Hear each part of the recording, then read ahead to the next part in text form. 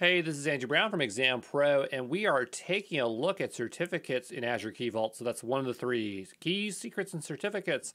And uh, so if you're wondering why we did all that X509 certificate stuff, it's specifically so that we are prepared to understand uh, you know, the purpose of certificates in Azure Key Vault. So Azure Key Vault allows you to import, generate, and manage X509 certificates.